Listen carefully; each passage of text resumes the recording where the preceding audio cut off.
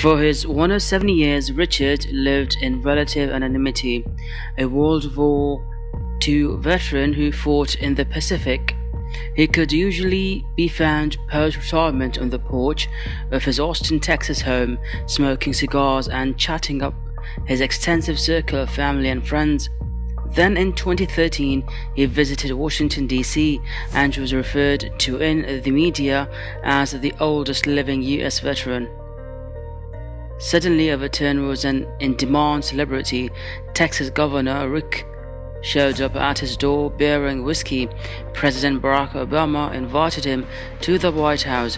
The San Antonio Spurs gave him a number 110 jersey and brought him onto the court for a standing ovation, and he became a staple at Austin civic events such as the annual Veterans Day Parade.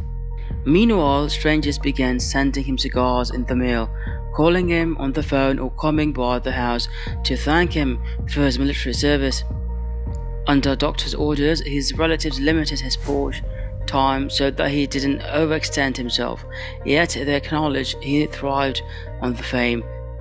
In addition to spending several years as the oldest US veteran, Overton was also thought to be the oldest living male in the United States before his death on December 27, 2018, at the age of 112. Though dependent on 24 home care at the end, friends and family say his mind remained sharp. At the age of 111, he still walked and took no regular medication stronger than aspirin. Overton credited Garden Cigars for his longevity. Telling history in 2016, he still smoked about 12 a day, but that he never inhaled.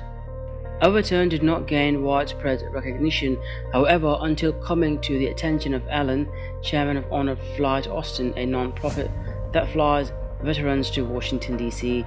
to visit the memorials built in their honor. The two became friends, and in May 2013, Honor Flight Austin brought the then 107 year old on his first ever trip to Washington, where, according to Bergeron, he was so blown away by the beauty of the World War II and Martin Luther King Jr. memorials that he started crying. On the same trip, as he passed by Arlington National Cemetery, Bergeron overheard Overton mumbling to himself, God bless those soldiers. By then somewhat of media sensation, Overton returned to Washington that Veterans Day for breakfast at the White House with President Obama and Vice President Joe Biden. He also wrote in the presidential motorcade. Obama gave a ceremonial speech singling him out for praise. Thousands of people donated to cover his home care costs and the Home Depot Foundation and Meals on Wheels Central Texas renovated his house for free after a plug melted into an outlet and nearly caused a fire.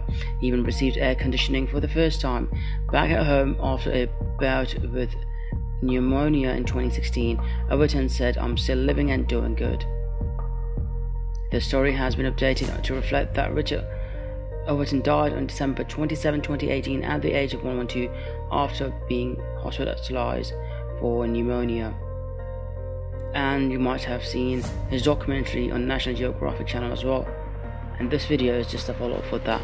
Thank you for watching. Please subscribe to get some more updates on such topics.